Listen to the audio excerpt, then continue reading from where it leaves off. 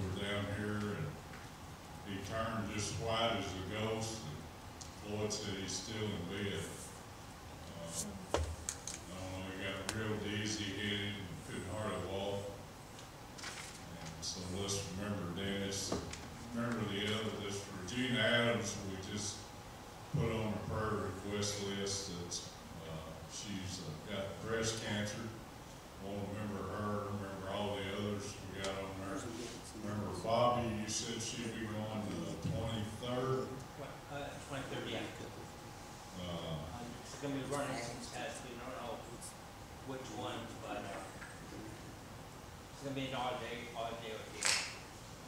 okay, so we want to remember this. And we just got name after name on here. Uh, Rocky said, uh, Philip and Carolyn are doing better. They hope to be able to be here Sunday. And, uh, so they're finally making progress. But let's continue to pray through them. For them, they've been through a lot here lately. Is there anything else?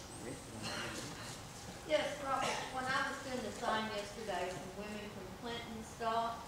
They gave me a flyer, and I forgot to bring it. But they were inviting the women down there to the museum in Clinton. It's, uh, display of aprons. Uh, aprons a hundred years old and everything, and there's a story behind it. And it's gonna be all the month of June from, on Wednesdays from one to four. Okay. So, you ladies remember that. Joe Don, you can go by and check it out. You go through there. It was your cousin. I'm back, there's gonna be a lot of ladies. Your cousin in Scott said, My cousin, with your cousin. I don't, I I, got a lot of ladies. yeah, she said I'm so done with it. You better, buddy. Okay, anything else? Robert, Yes. Tomorrow we will be cleaning the church and the Family Life Center for homecoming. So anybody that can come help us, we'll be here at eight, probably till, I don't know, one or so. Uh, even if you can't come at eight, anytime you can come help out, that would be great. If you'll go to the dentist for me, I'll come. Okay. And also, um, I got a call from, uh, Christian King's mom.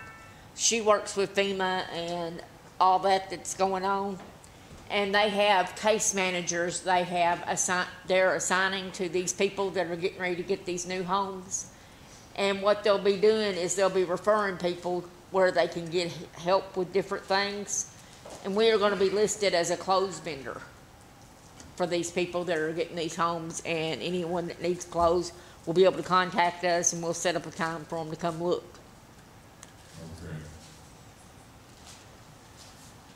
All right, anything else?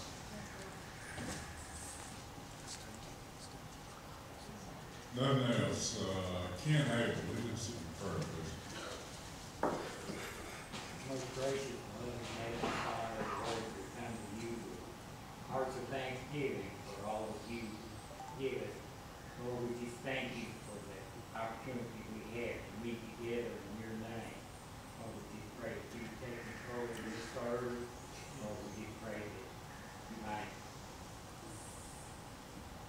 this through the hand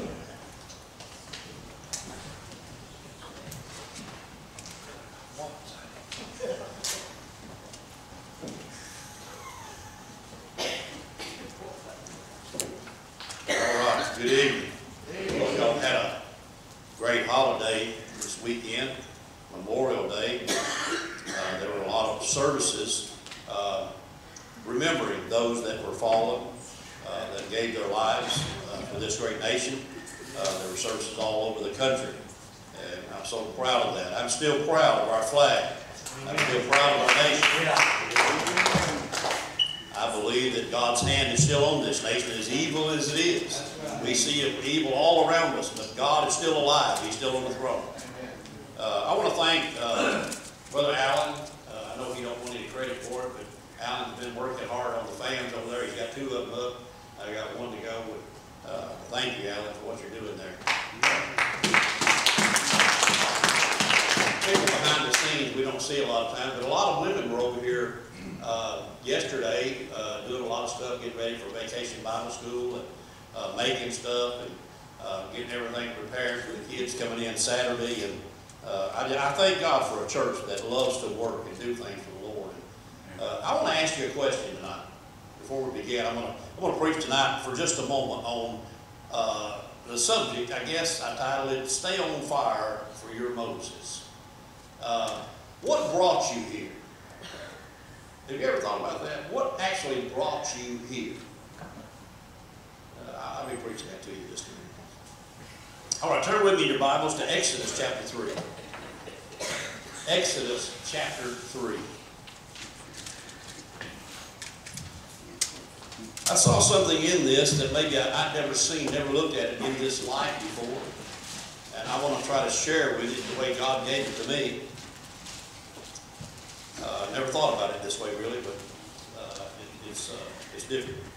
Uh, Exodus chapter 3, 1 through 4, I think it is.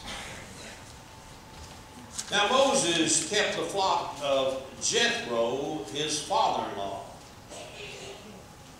Let me read that again. Did y'all want to be married a hillbilly family? I just read it to. Now Moses kept the flock of Jethro, his father-in-law, the priest of Midian, and he led the flock to the backside of the desert and came to the mountain of God, even to Horeb. And the angel of the Lord appeared to him in a flame of fire out of the midst of a bush. And he looked, and behold, the bush burned with fire, and the bush was not consumed. And Moses said, I will turn now, uh, now turn aside and see this great sight. Why the bush is not burned? And when the Lord saw that he turned aside to see, God called unto him out of the midst of the bush and said, Moses, Moses. And he said, Here am I. Father, we thank you tonight for being so good to us this week, meeting our needs, giving us a time of rest and enjoyment with families. Uh, God, uh, every time we turn around, we see your goodness, your favor on our lives. Lord, I, I thank you, God, for this church, what it means to me. God, the people here in this church, God, you love them so much. Lord, they love you. They, they love to work for you. God, I, I believe that uh, this is one of the greatest churches in America.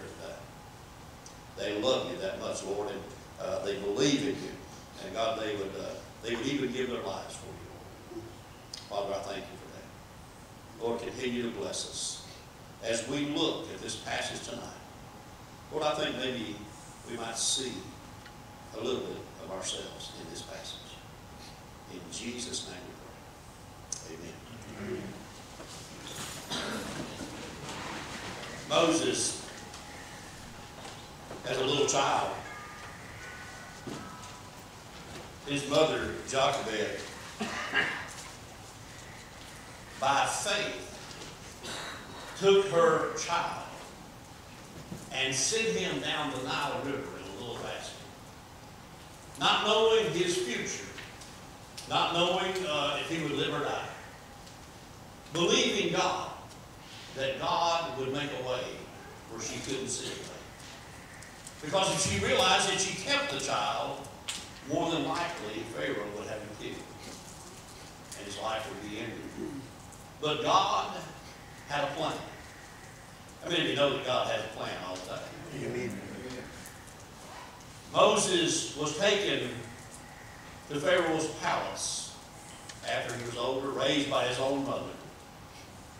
And uh, Moses became aware of his surroundings, but Moses never forgot who he was and where he came from.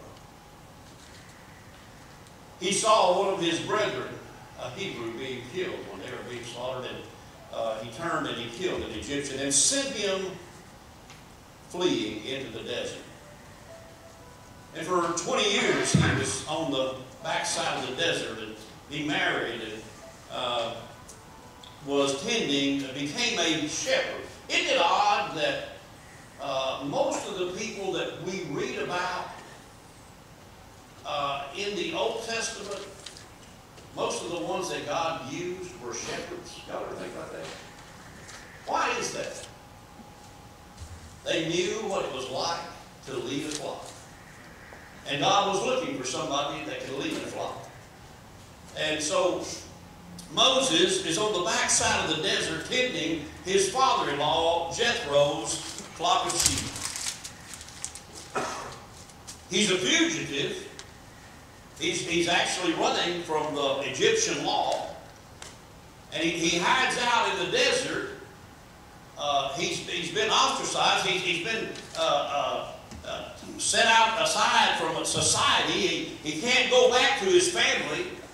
Uh, he, he's in an isolated place in his life where uh, most people wouldn't understand, but there's some people in this room tonight uh, that I believe can understand how, what Moses must have felt like uh, when he was uh, thrown into this part of his life, taken away from his family, isolated, and, and thrown into the wilderness, uh, and not knowing if he would ever come out of the wilderness.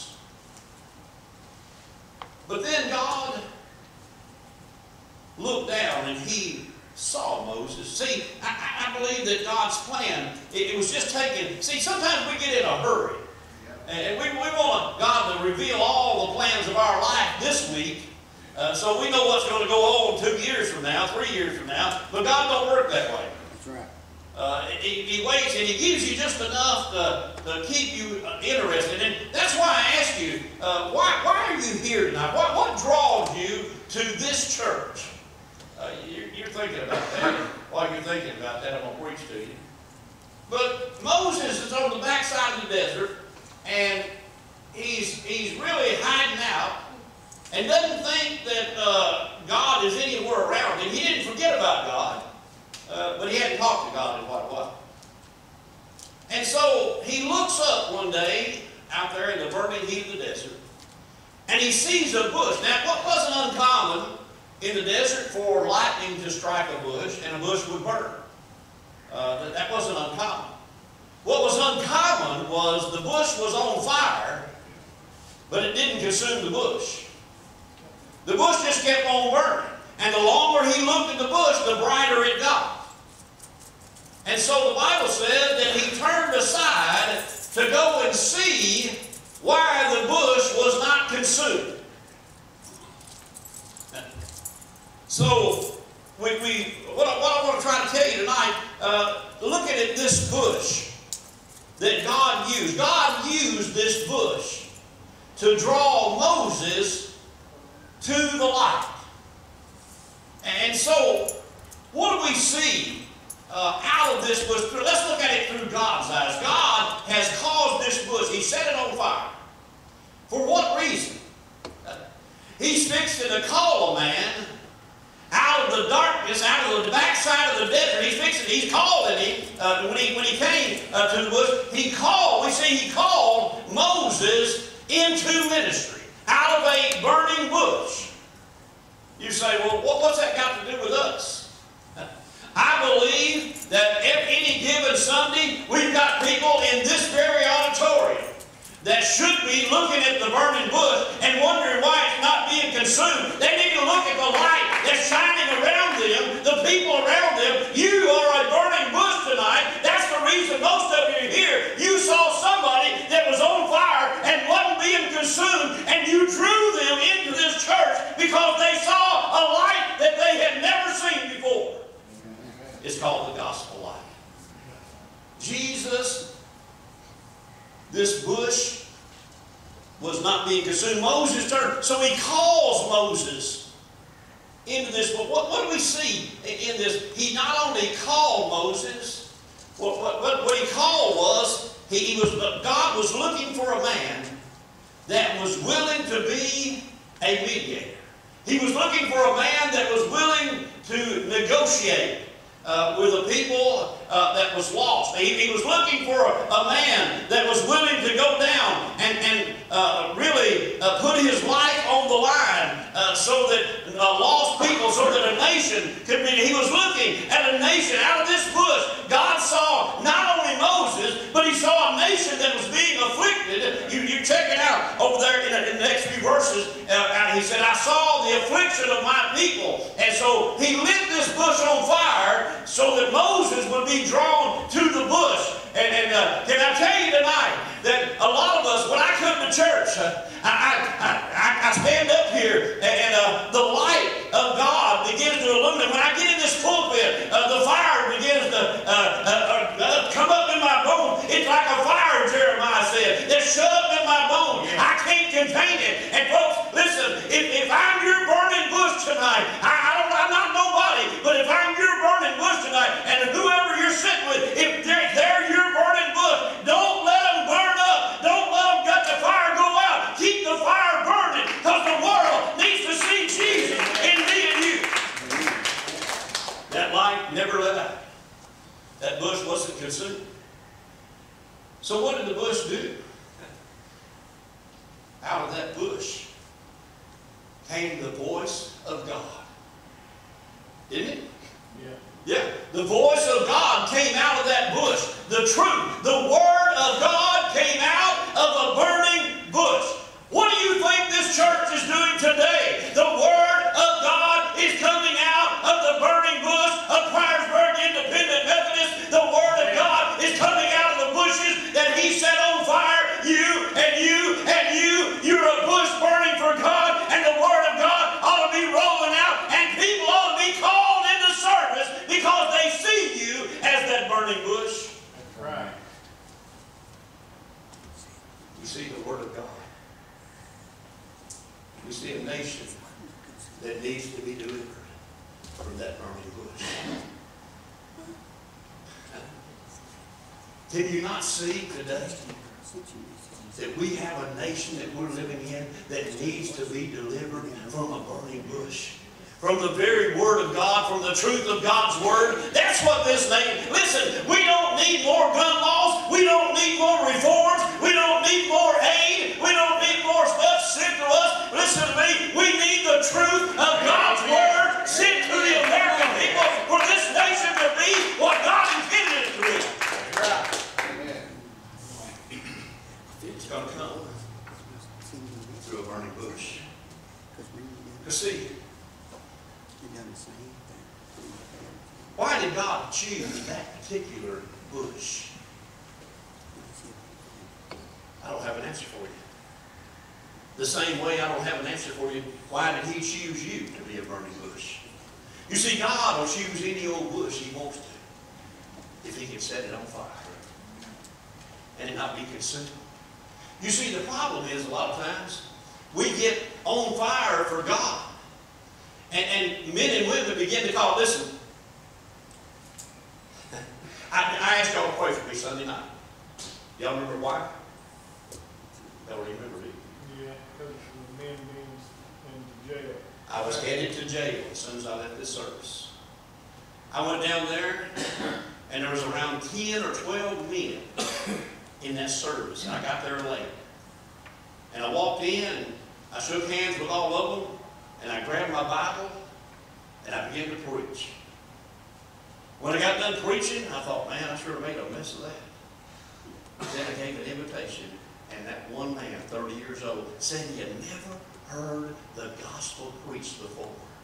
Gave his heart and life to Jesus. Why? Because God sent a burning bush down there to burn that wasn't consumed. I, I'm not trying to tell you I'm somebody. I'm nothing. I'm the least of the servants of God. But listen to me. If we'll just let God light us on fire, God will lead those people. He'll bring them to a place they'll turn aside from what they're doing and come to that burning bush. That's why you're here tonight.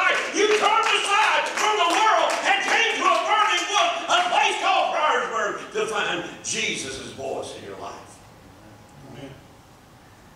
We see out of that burning. You see, I believe there were some other burning bushes in, in the Bible.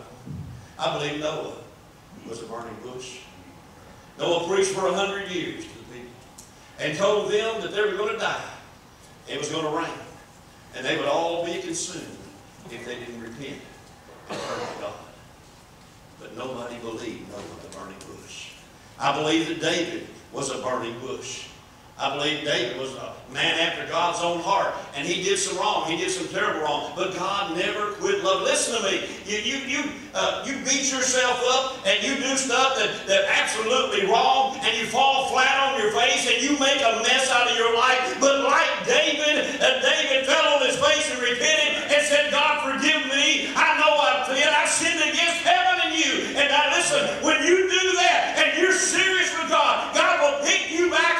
and He will still use you. Don't you give up. Don't you quit. You still up. Let God light you on fire one more time. Amen.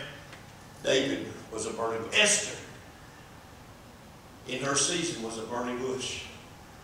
She was willing to go before the king, risking her own life to be a light shining in darkness. She's a great example of a burning bush. I believe Elijah was a burning bush to Elisha. I believe Moses was a burning bush to Joshua. You see, all these people, they saw something in the ones that go on before them. And they saw the flame in their lives that couldn't be extinguished. Oh, listen. As we look at this burning, what did this burning bush do? It, it called us uh, out of darkness. It, it called Moses uh, to the ministry and, and it gave him direction in his life. And you see, uh, God told him, He said, after He called us to the ministry, He said, Now I'm going to tell you where I want to send you. He said, I want you to go down and free my people out of Egypt. He gave him direction. He took him out of the backside of the desert and said, I'm going to give you a task to do. I want to send you on a task. I want you to go down and be my mouthpiece and get my people out of bondage. Uh, and, and Moses, Moses had just, he's standing there, the bush is still burning. Well, I can't do that. I can't do that. Every one of us have said that to God. Yeah. Lord, I can't do that. Oh, Lord, don't call me to preach. I can't do that. I said the very same thing. And uh, don't call me to teach, Lord. Uh, don't call me to uh, go witness, Lord. Don't, don't call me to do, Lord, just let me sit on the pew. I don't want to do nothing. That's what we all are. But people can't see you burning from that pew. That's right. You need to be lit up for Jesus wherever you go, especially in your home. If our world ever needed mamas and daddies to be on fire for Jesus, it's today. Because you see, what I see in this, Mo, he called Moses for to go and get his people out of Egypt. And Moses did what God called him to do. Out of this burning bush, he called a man. Out of this burning bush, he gave this man direction. Out of this burning bush, he gave him what he needed uh, to accomplish the task. He gave him everything. He said, What do you got in your hand? He said, Well, I just got an old stick. He said, Throw it on the ground. And he threw it on the ground and it became a serpent. He saw out of this burning bush, he saw the miracles of God that could be accomplished if he would just say, Yes, God, I'll go. But not only that,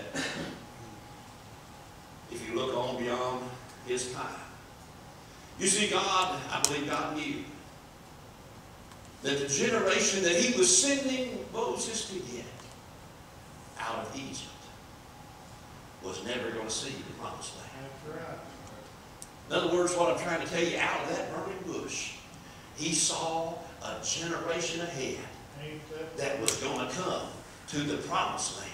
The one that he was sending to. He said, Yeah, I want you to go get them out. But they're not going to the promised land. They're not going to make it. They're going to wander 40 years in the desert. I'm going to give you direction. I'm going to give you what you need. I'm going to feed you. I'm going to do it. I'm going out of that burning bush. I see the hand of God moving in every aspect of Moses' life. Everywhere he went, he struck the rock and water came out of the rock. And by the way, that rock is still giving forth water today. Everything that he needed, it was in that burning bush. Who is that burning bush? That was the living God in that burning bush. And so, that, that, that being said, I believe that you and I and this church is a burning bush in this community. I believe the world is looking at us and saying, are they for real?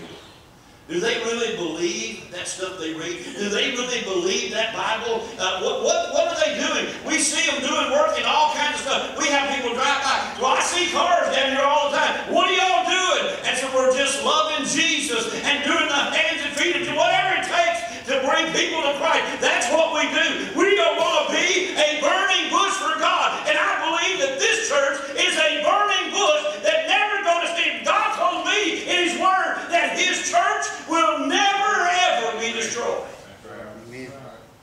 going to burn forever. But the good news is, it ain't in heaven. You're going to burn for the glory of God. As long as you have breath in you. Because God has chosen you as His burning bush. Folks, listen. We've got people out here in our community that need to see that bush burning that bush not being consumed. Because see, the problem we have is too many people get on fire, and then all of a sudden the flame goes out. They're, they're spent. The bush is burned. And there's nothing left. And all they see is the charred remains of their life when they get entangled in this world and sin overtakes them. Oh, they did good for a little while, but now their life is a wreck. And all the world can see in them is the charred remains of a bush that used to be on fire, but now it's just a bunch of old, dirty branches. Oh, listen, the world don't need to see that tonight. The world needs to see you and I on fire and burning and not being consumed, rising up every day and saying, Lord, I'm going to follow you with my life. I'm going to do what you called me to do. I'm going to go get and deliver your people out of captivity. Why do you think I go to jail on Sunday night? To deliver the captives that are in bonds down there in sin. And folks, it's no different right here. Amen. That's right. We've got people in this church Yeah. that need to be delivered from lots of sin. That's right. We must be the light of God's burning bush.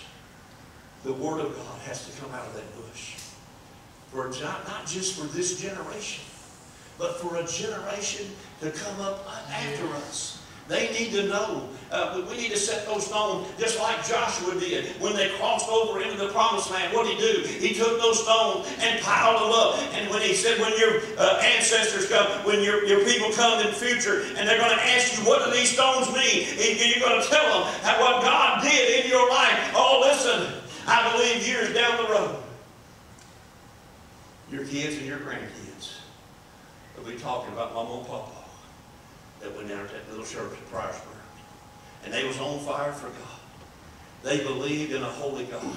They didn't quit. They didn't back up. Listen, this little burning bush here, God has sent two floods trying to put it out. Yeah, He has. It- The water was up the top of the pew one time in here, but you know what?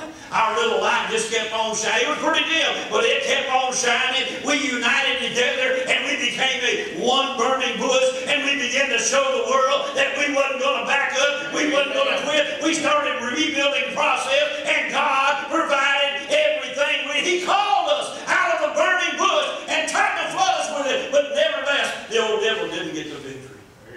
We're still here and we're still burning.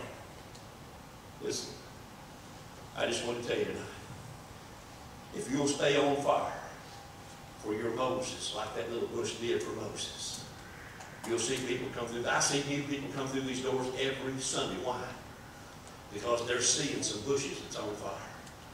They're seeing some of y'all that are on fire for Jesus. They're seeing a light in some of y'all that they ain't seen in nobody else. They ain't seen it in other churches. Oh, it might have it might have sounded good in other churches. It might have looked good in other churches, but they're not seeing the real, true Word of God coming forth out of the pulpit. They need to hear and believe that there's a burning bush somewhere that they can come and find the calling in their life and find the direction in their life. And I believe that we are one of those people.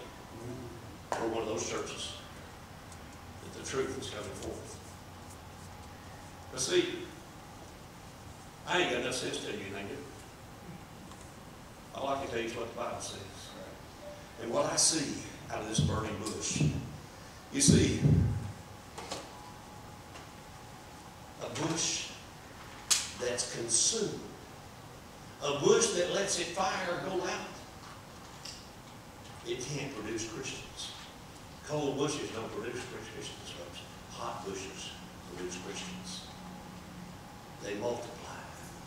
We're like the flock of sheep. What do sheep do? And they go to sheep. What do we do? We bring Christians into the light out of the darkness. And so we must be that burning bush. We are that burning bush.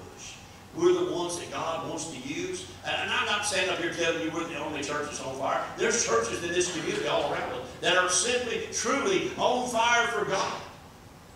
But every once in a while, we need to turn up the flame so the world can see who we really are. Not be just another service, not just come to church and sing another song, not just go through another service and say, well, that, that was good. I go home and lay my head down. That, all is good in my life. No, not everything's not good in your life. There's too many lost people in the world in our community tonight that need to know that there's a God in heaven. That young man Sunday night said he had never heard the gospel preached. Listen, he was two miles, three miles away. How are we going to quit? How are we going to stop? We must be the burning bush for people around us. They need to know who we are.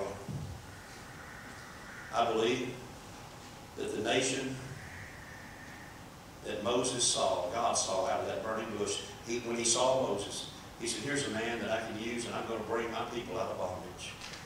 I'm going to give him a calling on his life. I'm going to give him direction in his life. And I'm going to give him the grace to go in and face that old Pharaoh. He went in and faced Pharaoh ten times. But on that tenth time, God said enough's enough. And he sent that tenth plague and sent the Israelites packing out of Egypt. Their bondage was finally broken. But listen to me. They didn't get very far. And they began to complain to Moses. They began to talk to that burning bush that led them out of bondage. And said, What'd you lead us out for? We could have died there. We had stuff to eat there. You left us out here in the desert to die.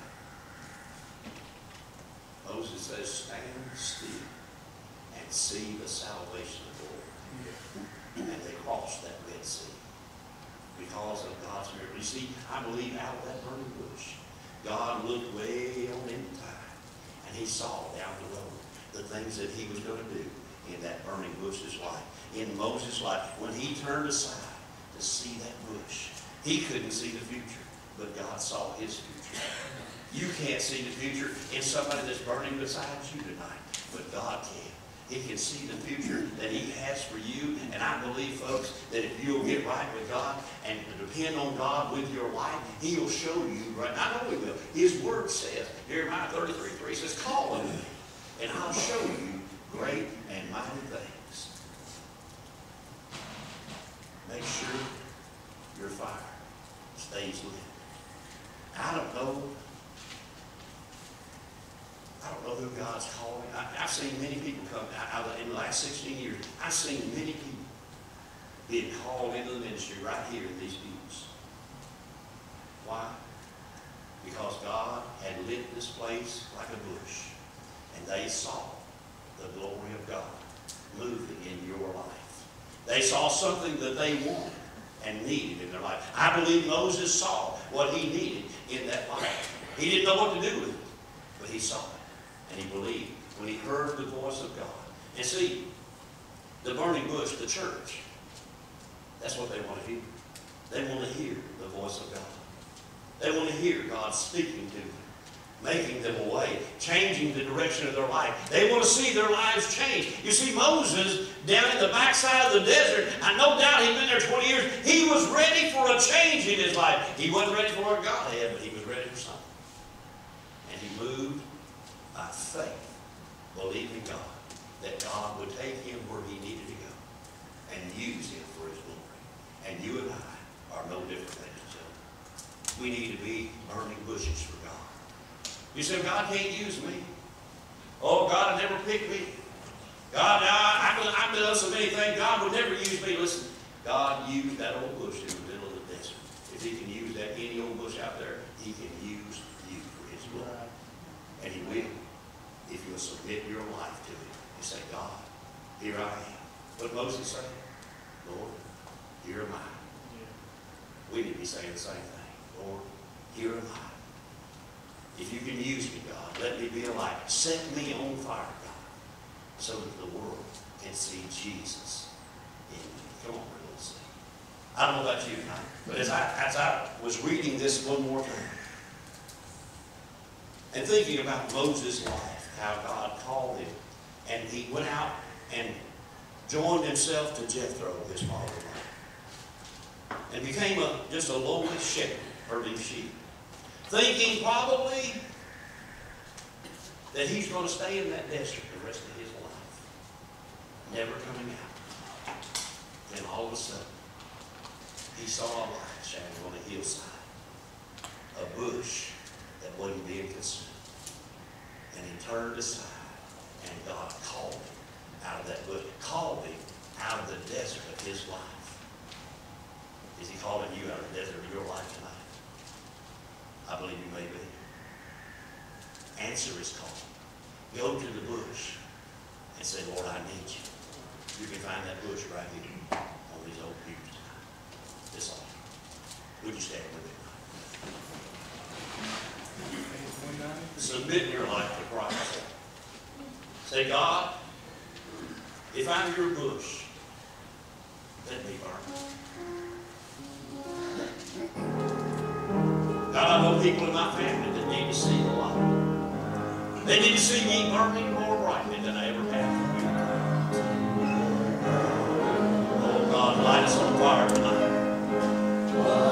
Let us stay on fire for our Moses. I don't know who your Moses is. But I promise you, if you'll submit your life to God, God will show you who your Moses is. He'll show you through that burning bush, that light in your life.